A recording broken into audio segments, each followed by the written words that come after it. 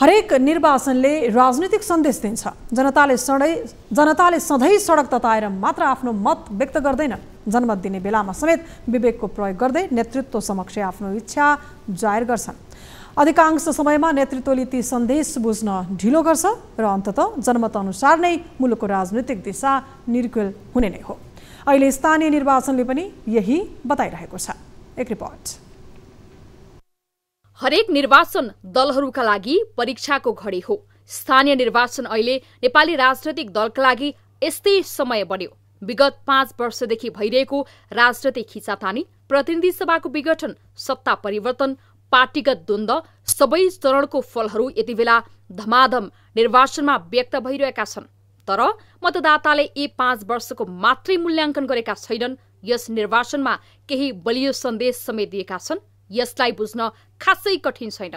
त्यो हो काठमाडौँ महानगरपालिकामा बालेन शाहको मत र वीरगंज उपमहानगरपालिकामा राजेशमा सिंहले पाएको मत। दुई हजार बैसठी त्रिसठीको राजनैतिक परिवर्तनपछि नेपाल नयाँ कोर्सतर्फ प्रवेश गर्यो। अझ अन्तरिम संविधान जारी भएपछि त मुलुकको व्यवस्था नै फेरियो। तर व्यवस्था परिवर्तनसँग एकाएक नेपालमा जातिगत राजनीति हावी भयो। मुलुकको विकास नै जातिगत विभेदका कारण रोकिएको भन्दै यो मुद्दालाई जनमत सोहोर्ने सूत्र बनाइयो।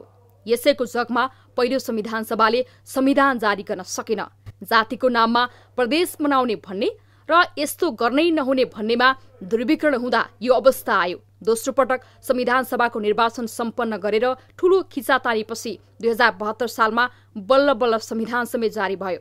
यहाँसम्म आइपुग्दा जातीय मुद्दामा राजनीति गर्नेहरू सेलाएका थिए। यो विषय जनस्तरबाट नै तिरस्कृत भए पनि बेला बखत चर्चित राजनीतिज्ञहरूले यसलाई उछाल्न खोजे पनि स्थानीय निर्वाचनमा व्यक्त भएको जनमतले यसलाई ठाडै अस्वीकार गरेको प्रष्टै देखिन्छ।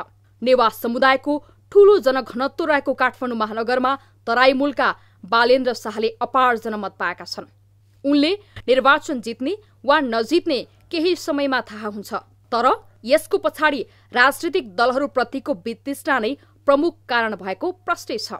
असन्तुष्टि व्यक्त गर्नका लागि मतदाताले कुनै जाति विशेषको पात्र खोजेनन् तर्क गर्नेले काठमाडौँलाई विद्रोही सहरका रूपमा पनि व्याख्या गर्न सक्छन्। तर यो क्रम काठमाडौँमा मात्र सीमित छैन वीरगंज महानगरले पनि यही नियति देखाएको छ। त्यहाँका मधेस मूलका मतदाताले नै उपत्यका हुँदै तराई क्षेत्र पुगेका राजेशमान सिंहलाई मत दिएर आफ्नै जातिको मतदाता आवश्यक नभएको सन्देश दिए। काठमाडौँमा सृजना सिंह र केशव स्थापित मतदाताका लागि राम्रो विकल्प थियो। यसै वीरगंजमा विजय सरावगीका पक्षमा भोट हाल्न सकिने अवस्था थियो। तर मतदाताले उम्मेद्वारको मूल्याङ्कन गर्दै जातिवादलाई बिल्कुलै बेवास्ता गरेकाले नै मतको नयाँ ट्रेन्ड आएको विश्लेषण भएको हो। यसमा विशेष गरी युवा पुस्ताको मत नै निर्णायक फ्याक्टर बनेका छन्। यसले अबका दिनमा मुलुकभित्र जातीय द्वन्द फैलाएर राजनीतिको रोटी सेक्छु भन्नेलाई तगडा थप्पड लगाइदिएको देखिन्छ। मुलुक अब विकास र समृद्धिको ट्र्याक बाहिर जाने अवस्थामा छैन। यति बेला जनतालाई आपसमा जुधाएर सत्तामा पुग्न चाहनेहरूलाई युवा पुस्ता सहितको जनमतले कठोर जवाब दिएको छ। यसलाई शिक्षाका रूपमा लिएर राजनैतिक दल अघि नबढे जनताले अन्य माध्यमबाट पनि आफ्नो भनाइ नराख्लान् भन्न सकिँदैन। न्युज ट्वेन्टी फोर टेलिभिजनका लागि राजनैतिक ब्युरोको रिपोर्ट।